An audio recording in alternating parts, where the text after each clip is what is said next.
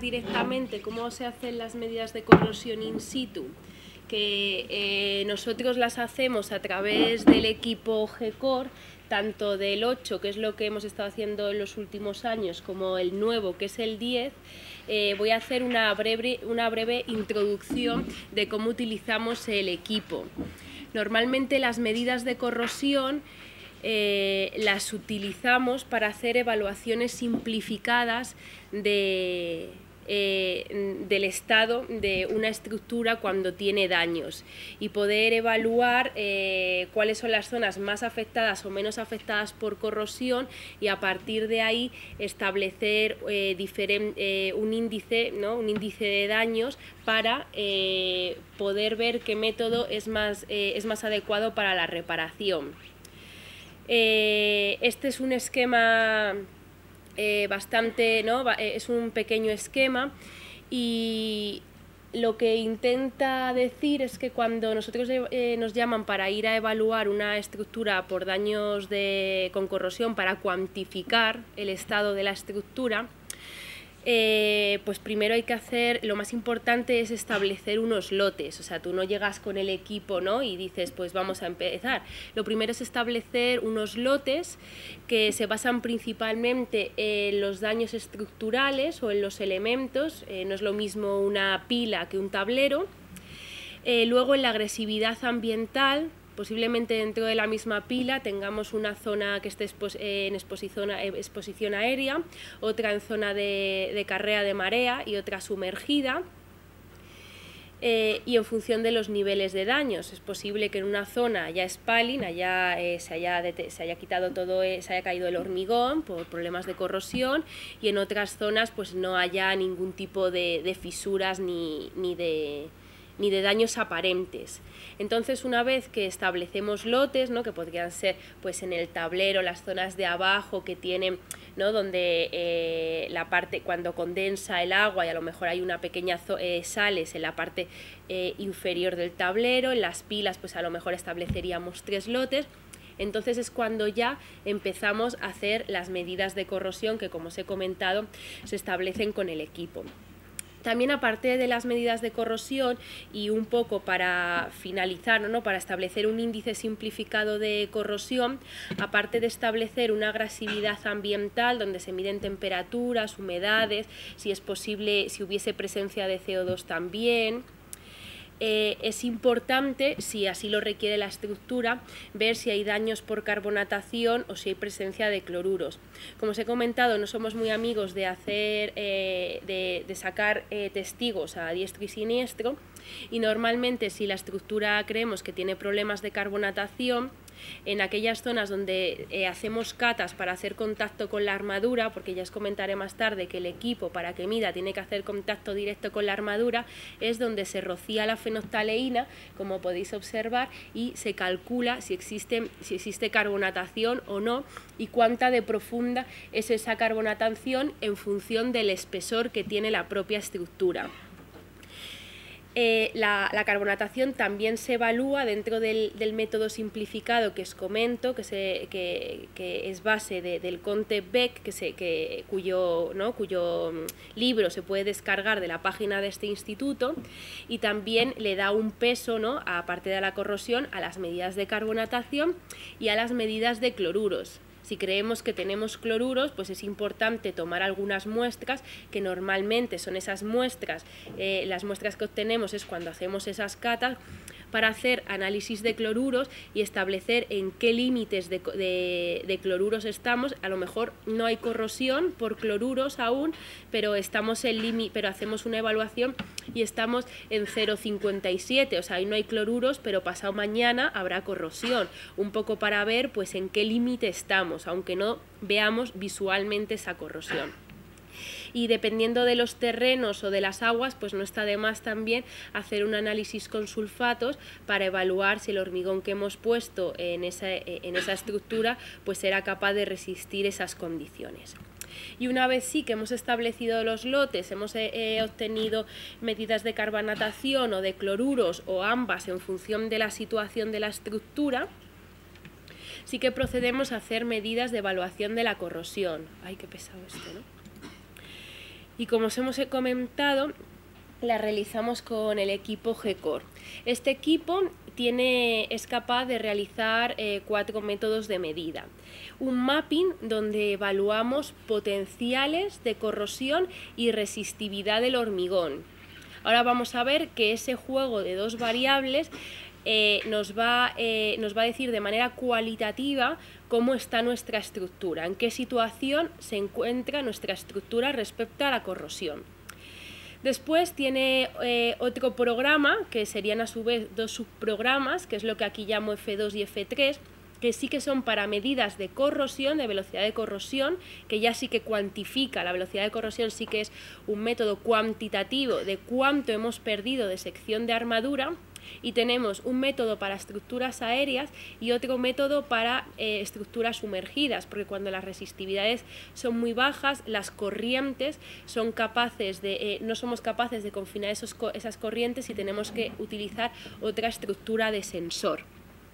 Y por último, también evalúa si nuestra estructura, que tiene protección catódica, eh, si una estructura que tenga protección catódica está funcionando correctamente o no está funcionando, o sea, si está protegida correctamente o no está protegida correctamente. Eh, como os he comentado, para medir, eh, para hacer cualquiera de los cuatro métodos es necesario hacer una pequeña cata y hacer contacto con la armadura. Mientras haya contacto eléctrico, nos podemos mover con los sensores en torno a 4 metros del punto de la armadura, siempre que tengamos contacto, contacto eléctrico a lo largo de toda nuestra estructura, que lo podemos comprobar con un voltímetro si tenemos ese contacto. Una vez con eh, mediante un pachómetro, que no sé si, bueno, es un equipo que con detección de armaduras, se selecciona la armadura, se ve la posición, se descubre, se hace una pequeña cata, bueno, con un martillo, un cincel o con una radial, porque con un martillo, un cincel, pues para determinados hormigones eh, no es fácil, y se eh, dispone los sensores. bueno, y se hace con la pinza, ahora vamos a hacer una, una prueba. Eh, con una de, las pinzas el, equipo tiene un cable, una de las partes del cable va conectado a cualquiera de estos tres sensores y el otro es una pinza que hace contacto directo con la armadura. Lo primero que se hace cuando se llega a una estructura es lo que hacemos nosotros es utilizar el primer método que hemos dicho de mapping. Este mapping eh, va a medir resistividad eléctrica, que ya se ha comentado, os ha comentado mm, Julio, no lo hace ni por el método de cuatro puntas ni por el método de directo, lo hace por, el, eh, por otro método diferente, pero bueno, ahora lo veremos más adelante.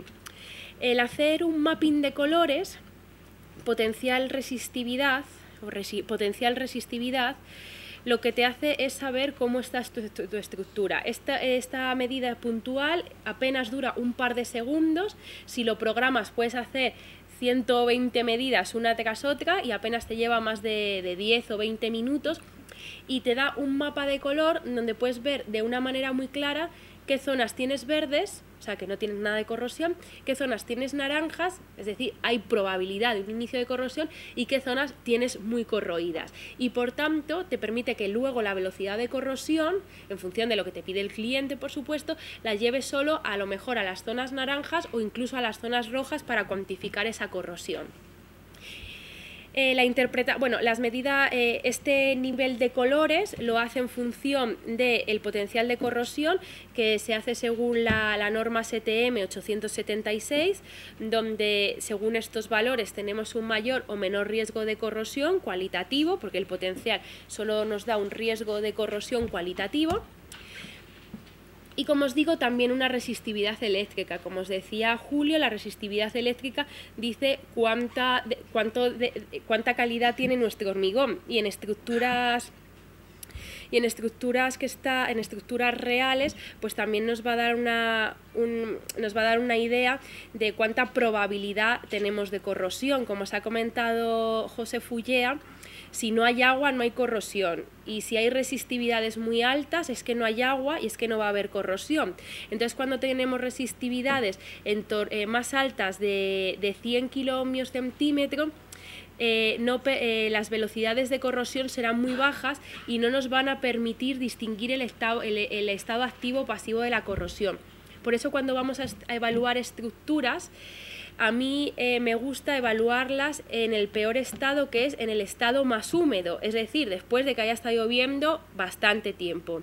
Si te pasa, como nos pasó en una ocasión, que había que evaluar el aeropuerto de Hurghada, que está en Egipto, que nunca llueve, y lo has hecho con agua de mar, pero solo tienes corrosión donde te cae el agua del aire acondicionado, pues ya está, listo, tus peores condiciones, o sea, tus peores condiciones es que nunca va a haber agua, entonces solo vas a tener corrosión donde te cae el agua de los aires acondicionados, pues quita el agua de los aires acondicionados, llévalo a otro sitio y se acabó, da lo mismo tener cloruros.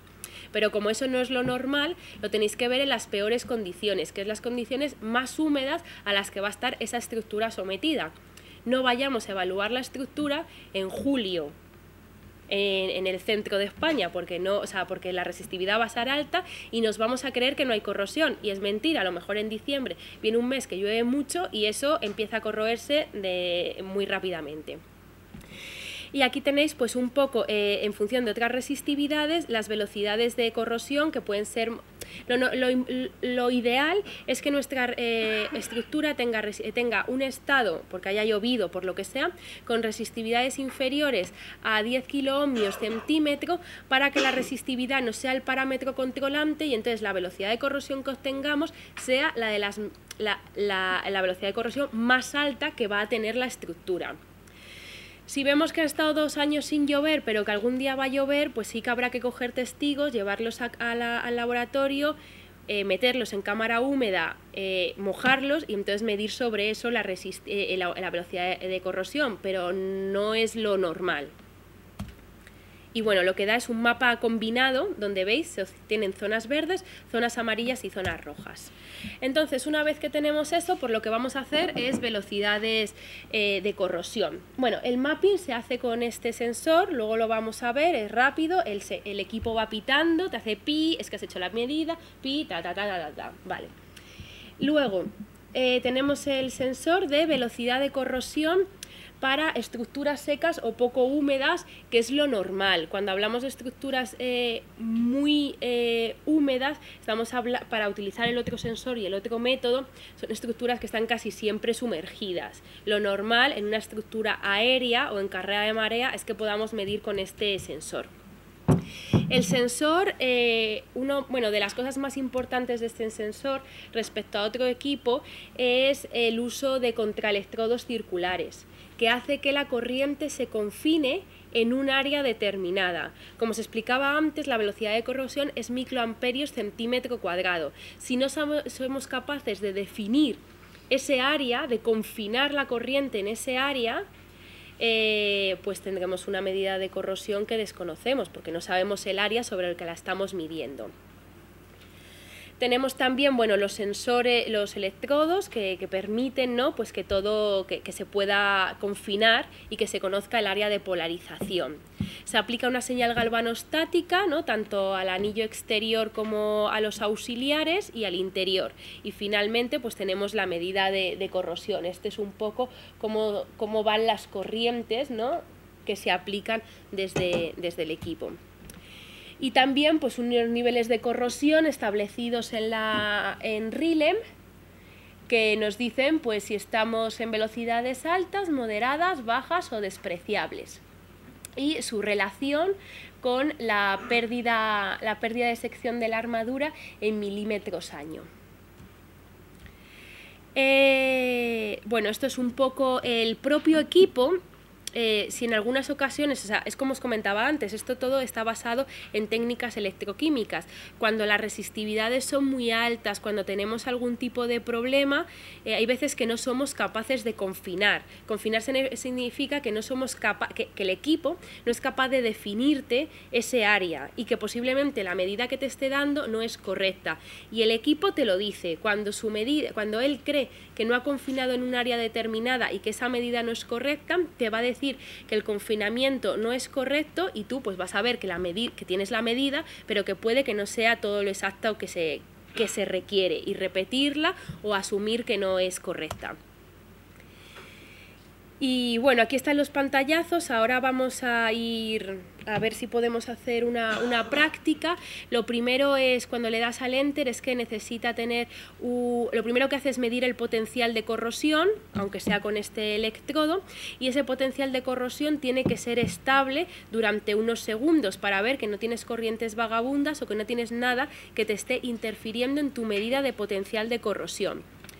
Posteriormente lanza la medida y si veis estas líneas, a ver, esto, sobre todo estas líneas laterales, es que está confinando en este área. Algunas veces estas medidas laterales empiezan a, en vez de ser rectas, a moverse para estos lados y eso es indicativo de que no vas a confinar y no vas a tener una buena medida. Pasados aproximadamente tarda unos 120 segundos en cada una de, de las medidas, te daría una velocidad de corrosión en microamperios centímetro cuadrado, el equipo te puede eh, pedir antes el área. El área de medida sería pi de L, donde L es la, esta distancia, que es 7,5 y eh, el diámetro viene definido por el diámetro de la estructura. Si no se conoce el diámetro de la estructura, eh, a mí me gusta poner área 1 y luego llegar al ordenador tranquilamente, descargarte los mapas de la estructura y contar diámetros. Pero bueno, eh, si, si, al equipo le dices el área que ya conoces, él te, te, te obtiene los microamperios centímetro cuadrado en función de ese área. Si le metes uno... Ay, sí. Sí. Luego lo paso a un Excel y lo divido entre el área. En realidad, si tú pones área 1 y luego tu área es 36,7, eh, pues el valor que te haya dado lo divides, lo divides entre 36,7 y ya está y también te daría una resistencia eléctrica en kiloohmios, que no es la resistividad y que es muy difícil pasar esto a resistividad. Si queremos la resistividad, que es realmente la medida que nos da cuánto desaturada está nuestra estructura, tendríamos que tener esto, que es el mapping anterior y que ya teníamos ese valor. Pero esto es resistencia eléctrica que no está eh, definida a una, a, una longitud, es una medida diferente. Y bueno, esto que os contaba, que puede ser el, que si el porcentaje de confinamiento es inferior al 50%, pues es incompleto y hay que repetir la medida, posiblemente pues hay que humedecer la estructura, la, la superficie del hormigón, la resistencia posiblemente sea muy alta, hay que esperar a que llueva, pero en cualquier caso te lo dice si lo que te da, el pantallazo que te da el equipo es una low electrical resistance, es que la resistencia que tienes es muy baja y que entonces hay que cambiar de método. Hay que irse al método de, para estructuras sumergidas o muy húmedas, que como veis cambia radicalmente.